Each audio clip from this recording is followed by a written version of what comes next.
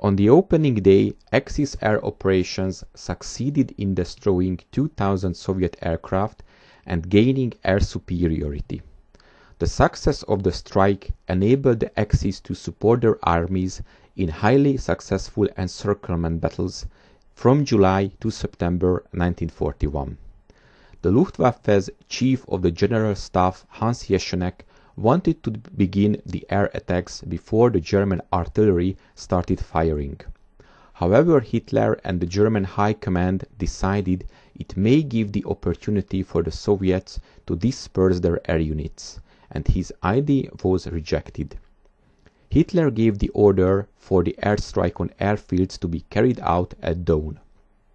Although many new German bomber crews had only limited training in instrument flying, the Luftwaffe overcame the problem by handpicking experienced crews who would cross the border at high altitude to swoop on their targets. The Germans deliberately targeted Soviet fighter air bases first to knock out potential opposition to its bombers and dive bombers. The first attack began at 3 a.m. on the 22nd of June. The Soviets had been caught by surprise. Their aircraft bunched together in neat rows which were vulnerable. The results were devastating. At Pinsk Airdrome, 39th Mixed Bomber Aviation Regiment lost 50 aircraft on the ground after attacks by the German Bomber Wing 3. Messerschmitt Bf 110s destroyed 50 aircraft at Kobrin Airfield. However, the Luftwaffe and its allies were far from alone in the skies. The Red Air Force flew 6,000 sorties in comparison to the German 2,272 sorties and put 1,900 aircraft into the air. They put up bitter resistance in their air scoring a few successes.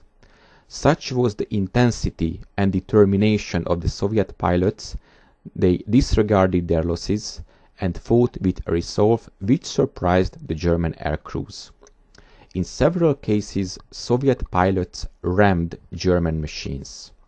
The Soviet High Command were stunned by the initial assault and took several hours to realize the disastrous situation and respond.